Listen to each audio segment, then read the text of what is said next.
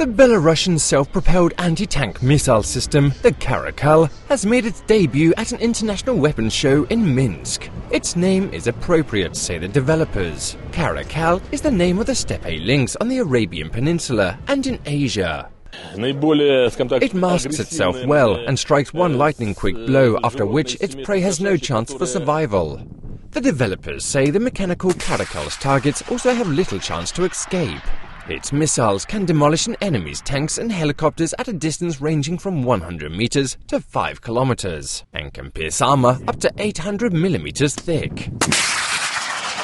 And targeting alignment can be done automatically by laser guidance or manually. In manual mode, the operator must keep the marker in the crosshairs, aiming at the target. In other words, he can guide the missile's flight path and adjust the trajectory depending on the target's movements.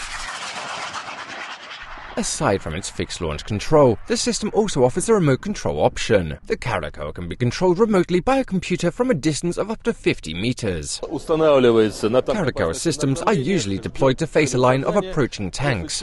As soon as it receives targeting data, it begins to engage the advanced forces by bringing down helicopters. By the time the main forces arrive, it also begins to fire at tanks.